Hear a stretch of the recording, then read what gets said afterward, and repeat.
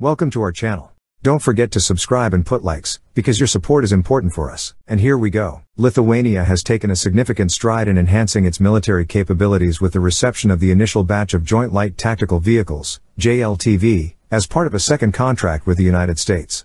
This procurement signals a major leap forward in bolstering the mobility, security, and combat effectiveness of Lithuanian infantry units. The contract, involving a total of 300 armored vehicles, underscores Lithuania's commitment to modernizing its armed forces. The Ministry of Defense of Lithuania announced the arrival of 35 JLTV armored vehicles this week, marking the continuation of a partnership with the U.S. government that commenced in 2019.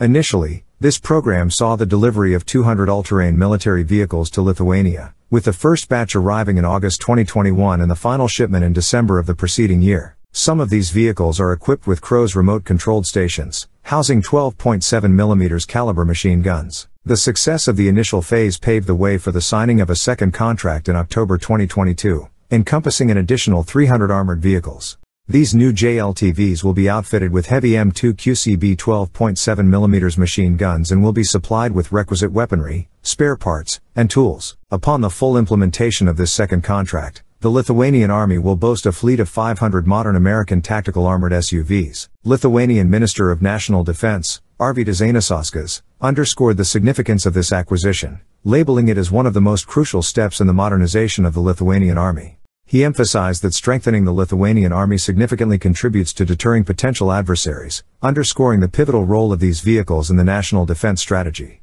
Manufactured by Oshkosh Defense, the JLTV represents a superior replacement for the HMMWV, Humvee, offering heightened protection, enhanced mobility, and increased load capacity. Its modular design facilitates rapid adaptation to diverse military requirements, enabling the swift installation of various weapons, communication systems, and specialized equipment.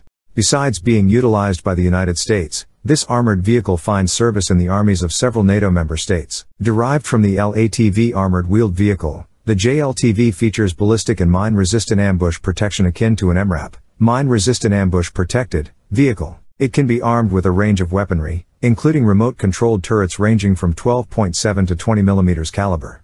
Thus, the introduction of JLTVs into Lithuania represents a significant augmentation of the Army's capabilities, enhancing not only its mobility but also the safety of personnel and overall combat effectiveness. This initial batch aligns Lithuania with NATO standards, positioning the country at the forefront of military modernization within the alliance. That's all for now, see you later.